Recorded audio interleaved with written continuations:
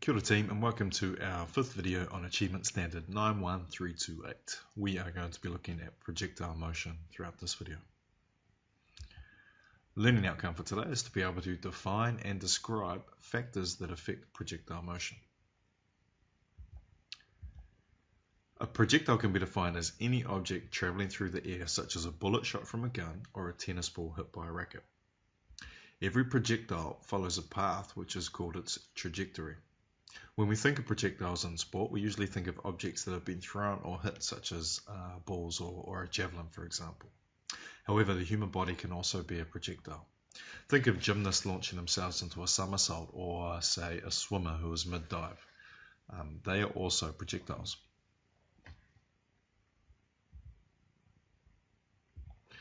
Projectiles can be affected by a range of factors angle of release, height of release, speed of release, spin, gravity, and air resistance are all factors that can affect projectile motion.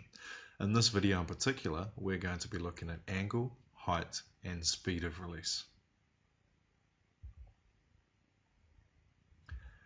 The angle that a projectile is released determines the object's trajectory.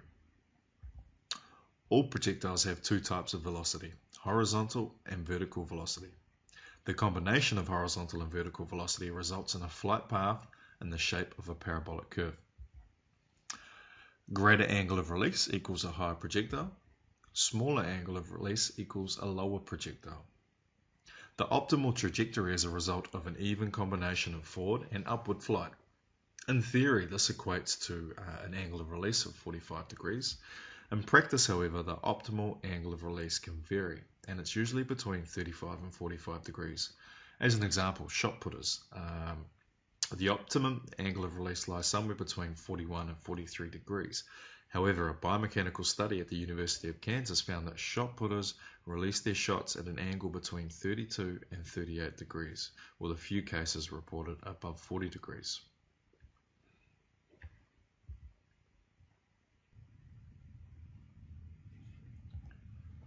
The height of release refers to the height at which an object is released relative to its landing point. If the angle of release and the velocity remain constant, a projectile thrown from a greater height of release will travel further than one thrown from a lower height of release. For example, if a tall athlete and a short athlete release a discus at the same speed and angle, the taller athlete will be releasing the discus at a higher release point. In theory, this would mean that the projectile thrown by a taller athlete would have more time in the air, and a taller athlete would be able to throw, the, throw further than a shorter athlete.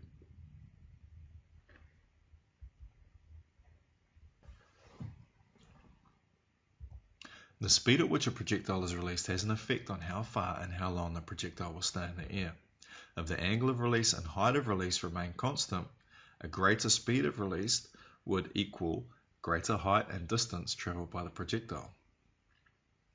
Once a projectile has been released, its horizontal velocity remains constant for the duration of the flight. In sports that require projectiles to be thrown a great distance, athletes try to generate as much velocity as possible by releasing the projectile with the greatest possible amount of force. Not all sports, however, need distance, and some accuracy is more important. In those sports, the speed of release decreases and more emphasis is placed on perfecting the angle and the height.